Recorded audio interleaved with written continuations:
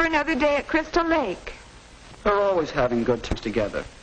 Wish my family were like that. We never do anything. Never have the time. Neither do we. You know, so many people are asking how the Millers manage to have so much fun as a family. What's the answer? Is it money? Or is it magic? Neither. It's something they worked out together when they woke up to the fact that they wanted their family life to be fun. Who doesn't? But how did they work it out? To understand, let's go back several months. Eavesdrop on the Millers one Friday evening before they got wise to themselves.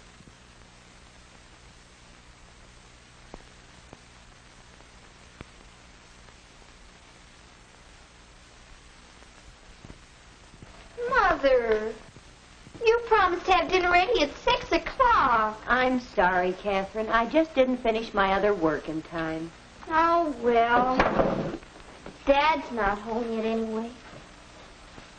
Nobody seems to care that I have a date at 7 o'clock. You can still make it, dear. I'll do the dishes alone. But you and Dad are going to the movies. I'm too tired. I did all the washing today, and I cleaned your room, too. It really needs... I meant to come home and clean it, Mother. But after school there was a meeting. Mother! I can't wear these slacks tonight. You said you'd press them. I know, Harold, but I just didn't... Why don't you press them yourself? Say, where's my racket? In my closet. I... I broke it. I meant to tell you. You broke it? And meet with an important match tomorrow.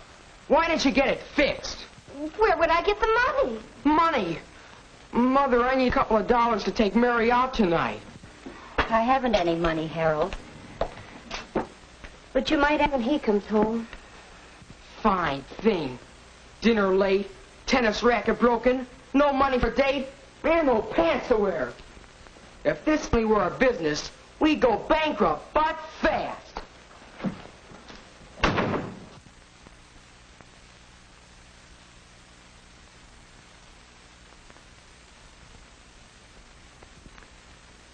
That night, Mrs. Miller was thinking about what Harold said.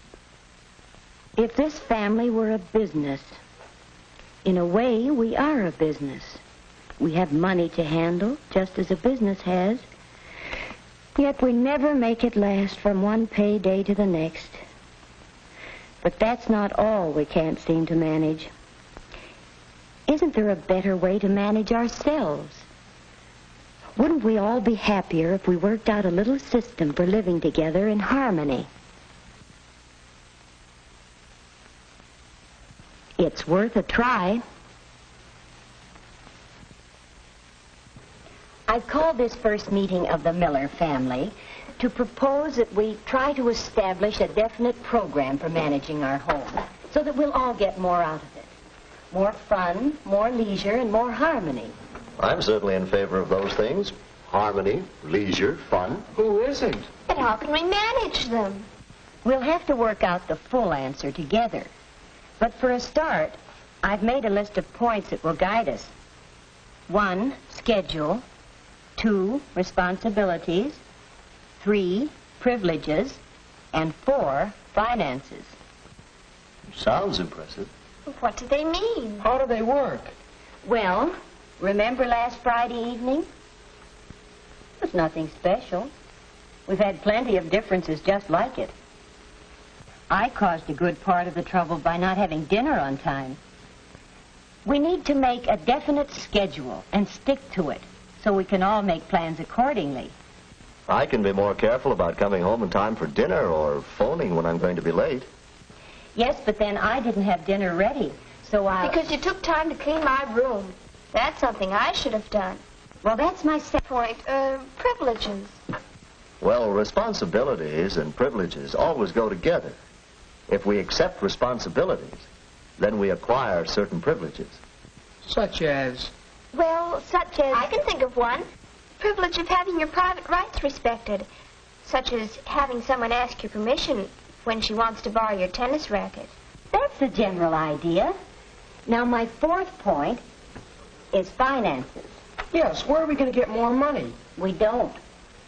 You mean a budget? Well, if we were a business, wouldn't we have a plan for spending our money? That does it. Well, I'd like to suggest that we adjourn for now and all give this some serious thought, and then get together for another meeting next Monday after dinner to discuss a plan for spending and, and all these other matters. Good idea. I'd like to have these family meetings every week. After we've worked this out, later on we can check up on how we're doing. Well, it looks as though I really started something. Say, Mom, you're swell. That's how the Millers came to manage their home, so it would be more fun.